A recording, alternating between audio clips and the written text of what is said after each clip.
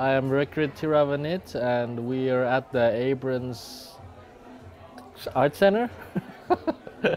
and we're in the back side of the kind of, uh, I'm not sure, office where we turn into a kitchen. And we are cooking for the Time Bank. What's the purpose of this meal? Um, well, I thought it was kind of about uh, bringing people together but it's also, also like about a different kind of exchange. I guess instead of like paying money for a meal, you are uh, kind of somehow you buy time or you pay with time. and I assume that that time will be used in some way, which is not so clear to me. but I, I spent my time already, so.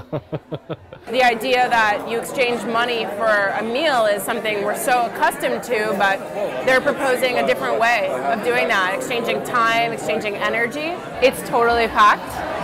The food has been excellent. Um, I also really love that the food is from local farms, two farms in Brooklyn, and then one in, uh, I think, a community garden in the East Village. What I find interesting about being here is that I'm increasingly paying more attention to alternative economies, but I like this notion of time, food, um, different currencies to exchange goods and experiences.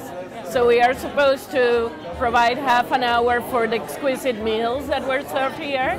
This is part of that living experience that avoids the exchange value of money in a way, in a way that I find very creative. What's now? Uh, Vietnamese sandwich from a fairly famous place down the street.